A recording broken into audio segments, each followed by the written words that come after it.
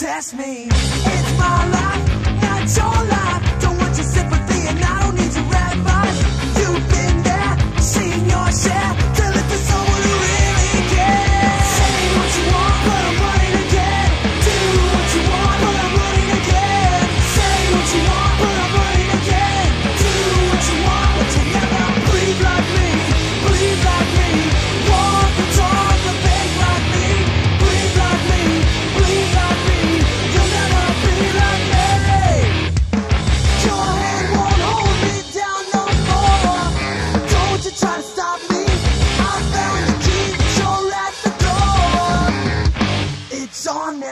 No contest, you lost.